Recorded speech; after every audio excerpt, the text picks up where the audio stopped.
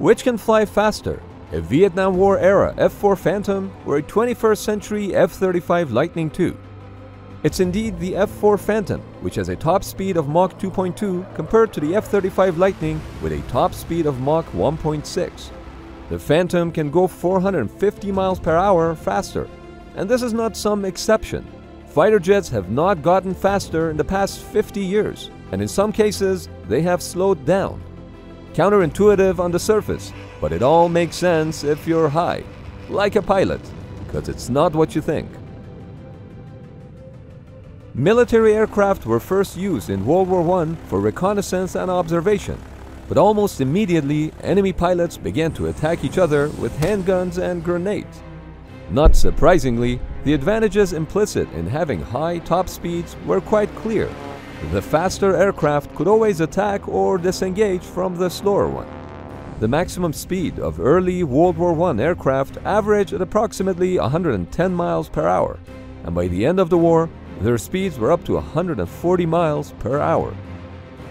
Just so you can appreciate what a significant factor aircraft speed was back in those days, when the British came out with the de Havilland Mosquito bomber in 1940, the Royal Air Force didn't even put guns on the aircraft because it could cruise at such a high speed that was essentially immune against all of Luftwaffe's fighters. But it was during the Korean War where jet aircraft were employed extensively for the first time. The maximum speeds of the CT-133 and MiG-15 were near Mach 0.9. Their best cruise speeds were also near Mach 0.9, and quite frequently, these aircraft flew at their maximum speeds. The desire for speed continued after the Korean War. Around the same time, jet engines with operational afterburners became available and the supersonic F-100 led in the era of Century Series fighters. The name Century Series stems from these fighters' designation numbers, which started at 100. The Europeans and Russians also developed supersonic aircraft of their own, like the Super Mystere B-2, Mirage 3, Lightning P-1, and MiG-19 and MiG-21. But these supersonic fighters had a totally new characteristic which had not been encountered previously. The subsonic fighters had a maximum speed that was very close to their best cruise speed. But supersonic aircraft had a maximum speed that was 50 to 100% greater than their best cruise speed because of afterburners. So hitting Mach 2 almost became a requirement. The Mach 2.8 speed of MiG-25 became the reason for justifying the need for a new fighter to the US Congress in 1968 to 1970. But this is where intuition meets reality. The Vietnam War went on for 20 years. During that conflict, both the US Air Force and Navy used various models of the F-4 Phantom while the other side flew the MiG-21s, both of which had maximum speeds of Mach 2.2. But here's where things get interesting. Military analysts reviewed the flight data of more than 100,000 sorties flown by the Mach 2.2 American fighter bombers over North Vietnam. How many hours of flight combat time do you think was recorded at Mach 2.2, or Mach 2, or even Mach 1.8? The answer is zero. Not even one second of combat was flown at those speeds. A few minutes were flown at Mach 1.4, and remarkably few hours were flown at or above Mach 1.2. Remember, this is out of over 100,000 sorties over 20 years. So what was going on in combat that caused top speeds to remain completely unutilized?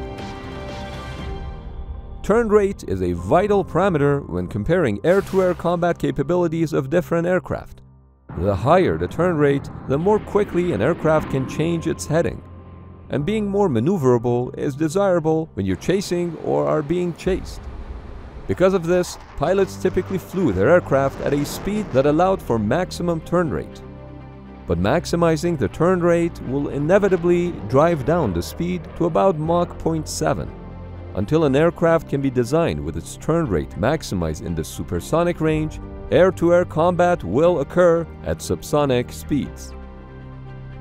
Now you might be thinking, having a top speed of Mach 2.2 at least allows the aircraft to get to the combat zone quicker. and then it can slow down to engage. That's true, but not so fast. The maximum distance an airplane can travel from its base to accomplish an objective and return is known as combat radius or combat range. Even when flying into the combat zone, supersonic speed is rarely advantageous. That's because flying supersonic consumes a lot of fuel. Northrop studied a multitude of intercept cases and found that speeds above Mach 1.1 were almost never helpful because they severely reduced the combat range. For example, for an F-4 Phantom II, increasing the run-out speed from subsonic to Mach 1.5 reduces its combat range by a whopping 70%.